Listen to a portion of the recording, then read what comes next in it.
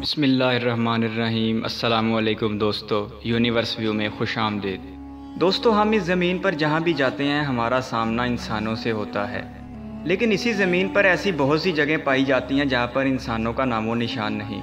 और अगर हैं भी तो इतनी कम तादाद में कि उन्हें ख़ास तौर पर तलाश करना पड़े। इन्हीं वीरान और बेआबाद जगहों में सबसे ज़्यादा नाम ली जाने वाली जगह सहराए आज़म या सहारा का रेगिस्तान है। दोस्तों, ये दुनिया का सबसे बड़ा रेगिस्तान है और दुनिया का सबसे वीरान इलाका भी यही है। इस सहरा का कुल रकबा नब्बे लाख मुरबा किलोमीटर है और ये इतना ज़्यादा है कि इसमें हमारे पाकिस्तान जैसे तेरह ममालिक निकल आए। सहारा का रेगिस्तान शुमाली अफ्रीका में वाक़ है। इस सहरा में दर्जा हरत गर्मियों में पचपन डिग्री सेंटीग्रेड से भी ज़्यादा हो जाता है। इसीलिए यहाँ पर इंसानों की ज़िंदगी ना होने के बराबर है।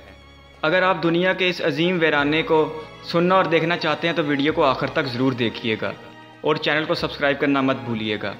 दोस्तों, सहारा के रेगिस्तान के मतलब कहा जाता है कि यहाँ आखिरी बार, अच्छी बारिश चार हज़ार साल कबल हुई थी और उसके बाद से ये वीरान और बंजर ज़मीन बारिश की मुंतज़र है। सहारा रेगिस्तान के मगरब में बहरा योकियानूस शुमाल में कोह अतलस और बहरा रोम, मशरक़ में बहरा अहमर और मिस्र जबकि जनूब में दरियाए नाजर की वादी वाक़ है। सहराए आज़म मुख्तलिफ़ हिस्सों में तकसीम है, जिनमें वस्ती कोह बकार, कोह तबस्ती, कोह एयर और सहराए लीबिया शामिल हैं। सहराए आज़म की बुलंद तरीन चोटी एमी कोसी है, जिसकी बुलंदी तीन हज़ार चार सौ पंद्रह मीटर है। यह शुमाली चाड़ में कोह तबस्तीसी के सिलसिले में वाक़ है। दोस्तों, नब्बे लाख मुरबा किलोमीटर के इस सहरा में सिर्फ़ पच्चीस लाख अफराद रिहाइश पजीर हैं, जिनकी अक्सरियत मिस्र, मोरतीनिया मराकश और अलजायर से ताल्लुक़ रखती है। यहाँ रहने वाले बाशिंदों की अक्सरियत बरबर नस्ल से ताल्लुक़ रखती है।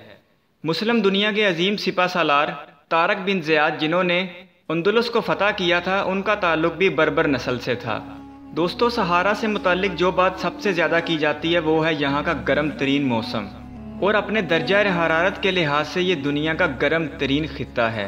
गर्मियों के मौसम में यहाँ का दर्जा हरारत 55 डिग्री सेंटीग्रेड हो जाना मामूल की बात है, जबकि यहाँ पर बारिश का दूर दूर से नामो निशान नहीं मिलता। तहकीक दानों के मुताबिक यहाँ पर आखिरी बड़ी बारिश आज से चार हज़ार साल पहले हुई थी। दोस्तों, यहाँ पर गर्मी ही एक बड़ी मुसीबत नहीं है। रात के वक्त इस सहरा का दर्ज हरारत 15 डिग्री सेंटीग्रेड तक गिर जाता है। और रातें बहुत ठंडी हो जाती हैं, जिसकी वजह से एक ही दिन में दो सख्त मौसमों का सामना करना पड़ता है। इसी शदीद दर्जा हरारत की वजह से यह खत्ता आज तक बेयाबान रहा है। दोस्तों, सहारा रेगिस्तान आठ ममालक में बटा हुआ है, जिनमें Algeria, Libya, Mali, Mauritania, Morocco, Niger, Sudan और तनुजिया शामिल है। दोस्तों, यहाँ पर पानी का हसूल ज़िंदगी का मुश्किल तरीन काम है। सहरा में कुएँ तो पाए जाते हैं लेकिन उसमें पानी की गहराई कई सौ फीट तक गिर चुकी है और पानी निकालने के लिए ऊँटों का सहारा लिया जाता है। दोस्तों, सहारा में अगरचे इंसानी ज़िंदगी महदूद है, लेकिन यहाँ पर इंसानों के आसार आज से 6000 साल कबल मसीह के भी मिलते हैं।